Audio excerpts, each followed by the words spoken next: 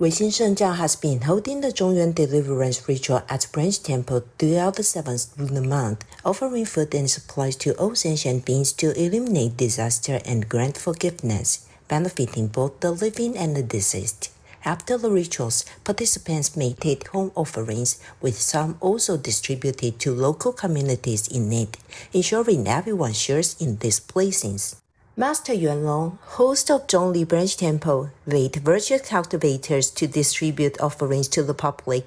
As the teachings of Grandmaster Hunyuan Chanshi, cooking these offerings at home is seen as a way of making offerings to all sentient beings. Meanwhile, at Xihu Classroom, under the guidance of lecturer Yuan Feng, offerings were delivered to rural elementary school, extending love and care to these communities.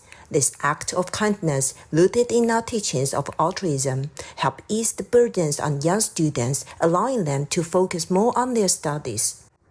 Starting on the 21st, Lecturer Yuan Feng and his wife, along with dedicated virtuous cultivators, organized the Love to Rural Areas initiative, delivering supplies directly to remote schools, including Dashan Elementary, Xinpu Elementary, Haishi Elementary, Chaowen Elementary, Longken Elementary, and more.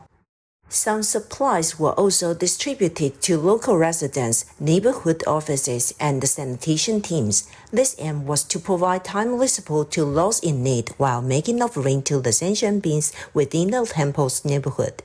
Weixin Report, Ruo Yunhan, Zhang Shanqi.